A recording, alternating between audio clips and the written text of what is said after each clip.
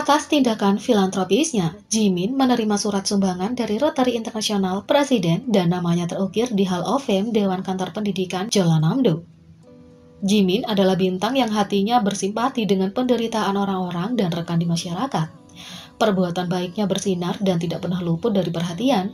Pada tanggal 6 Oktober, Korea Herald melaporkan tentang konferensi Presiden Internasional Rotary dan sesi pelatihan yang diadakan di hari Selasa di Hotel K di Gyeongju, Provinsi Gyeongsang Utara. Dalam sidang yang dipimpin oleh Presiden Yayasan, Sekhar Mehta, fokus pembahasannya adalah pada pencegahan penyakit. Juga terungkap bahwa anggota BTS, Jimin, menerima surat penghargaan atas sumbangan 84.000 US dollar kepada Rotary Foundation untuk pemberantasan polio. Sebelumnya, Jimin BTS mendapat pengakuan dan pujian atas donasinya untuk pemberantasan polio dari Direktur Jenderal WHO Rotary Internasional dan lainnya. Pada tanggal 21 September, salah satu perbuatan baik Jimin terungkap ke dunia membuat banyak orang tersentuh oleh kebaikannya. Menurut Direktur Distrik Rotary Internasional, Mr. Moon Kyung Suk, pada bulan Juli, Jimin telah menyumbang 100 juta won kepada Rotary Foundation untuk pemberantasan polio. Dana tersebut akan dikeluarkan pada Hari Polio Sedunia 24 Oktober, hari yang disisihkan untuk menghormati ahli virologi Jonas Salk karena telah menemukan vaksin untuk melawan penyakit tersebut. Donasi yang dilakukan secara pribadi dan melalui ayahnya diungkap secara terbuka oleh seorang penggemar yang kebetulan melihat spanduk yang dipasang di gosong untuk mengumumkan donasi tersebut. Saat mengirimkan donasi ini, Jimin berkata, dengan upaya Rotary dan banyak orang lainnya, epidemi polio mendekati akhir dunia. Saya menyumbang dengan keinginan untuk berpartisipasi dalam tugas-tugas bersejarah ini agar tidak ada anak yang menderita polio. Menunjukkan komitmennya untuk mengakhiri penyakit virus yang melemahkan yang menyerang anak-anak. Sebagai pengakuan atas donasinya, Jimin ditambahkan ke file status donatur Rotary Korea di bagian donasi tinggi level 3 mereka. Pada tanggal 23 September, Direktur Jenderal Organisasi Kesehatan Dunia Tedros Adhanom yang mengetahui tentang donasi tersebut berterima kasih kepada Jimin atas kemurahan hatinya yang sesuai dengan bakatnya. Berkat kontribusi dermawan 100 juta won yang diberikan kepada Rotary oleh Jimin, lebih banyak anak akan dapat mengakses vaksin polio Bakatnya sebanding dengan kemurahan hatinya dan akan membantu WHO bekerja sama dengan mitra kami. Hashtag Enpolio. Seiring dengan pencapaian luar biasa ini, namanya juga ditambahkan ke Dewan Hall of Fame Kantor Pendidikan Jeollanam-do karena ia adalah salah satu kontribusi yang paling terkenal. Idola itu pada bulan Juli tahun lalu menyumbangkan total 100 juta won Korea kepada Jeonnam Future Education Foundation melalui ayahnya untuk mensponsori pendidikan siswa Jola Selatan. Jimin dikenal sebagai juara pendidikan dan sebelumnya telah berdonasi untuk mantan alma maternya, Busan Art High School dan Busan Metropolitan Office of Education. Pak Jimin memang seorang panutan yang memberikan contoh yang baik dengan perbuatan baiknya, dan para penggemarnya sering mengikutinya. Pada tahun 2020, fanbase All for Jimin Korea, Adelio, dan lainnya dilaporkan telah berdonasi untuk korban yang terkena hujan deras di Korea Selatan dan Lebanon. Pada tahun 2018, dalam rangka ulang tahunnya, Jimin menerima sertifikat kehormatan dari Korea Red Cross Society karena telah menginspirasi lebih dari 700 penggemar untuk mengikuti donor darah. Sertifikat penghargaan dan trofi lainnya diberikan kepadanya pada tahun yang sama setelah Piper menyumbangkan ke Komite UNICEF Korea atas namanya setelah ia memenangkan penghargaan Top K-pop Artist Individu. Memang proyek-proyek bermakna ini menunjukkan semangat belas kasih abadi yang tinggal di dalam diri seniman dan penggemarnya. Hingga tren hashtag Be Jimin di Twitter saat penggemar memuji pidato Jimin tanpa naskah di UNGA dan berbagi momen berharga tentang dia yang menjadi inspirasi. Jimin sering dipuji dilihat sebagai panutan bagi kaum muda berkat kecerdasan emosionalnya yang tinggi, serta cinta dan perhatian tulus kepada orang lain. Pada tanggal 22 September, BTS bertemu dengan penggemar di V-Live untuk memperingati festival dan perbincangan Chuseok. Jimin mengungkapkan alasan di balik jedanya saat memberikan pidato di sidang majelis umum PBB. Semua anggota berbicara tentang betapa kerasnya mereka berlatih untuk hari besar, termasuk penyempurnaan pidato mereka dalam mewakili kaum muda.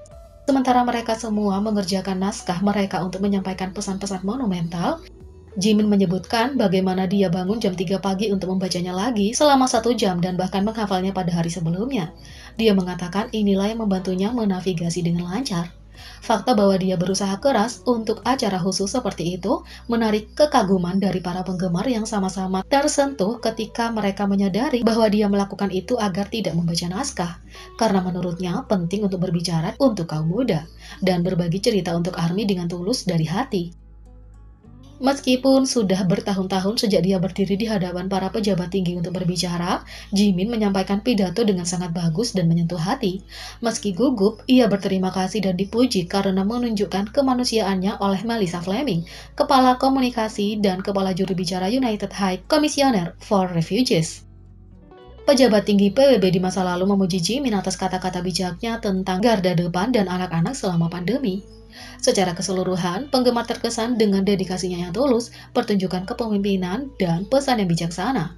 Bersamaan dengan tagar hashtag Be Like Jimin, mereka memposting pesan indah untuk memuji dan menunjukkan cinta mereka pada sang idola.